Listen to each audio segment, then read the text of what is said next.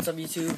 Baseballcardgamer coming at you with a in-person autograph recap. Uh, 426, 13, 2013. Uh, University of Floyd played uh, Cal State Fullerton, ranked number four. Today they won 4-3, bumping up their conference record to 4-9, 9 27 overall. But the highlight for me, uh, I got an in-person autograph from Michael Lorenzen, uh, two-time collegiate national team.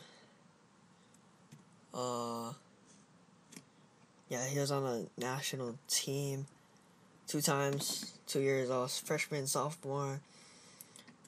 Probably gonna be on it this year again. Uh, projected to be a first round draft pick.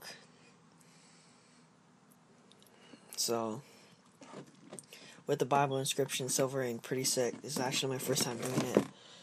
Uh, the 8x10 autographs. 8x10, uh, made this myself. Had a hard time, but still came out pretty good.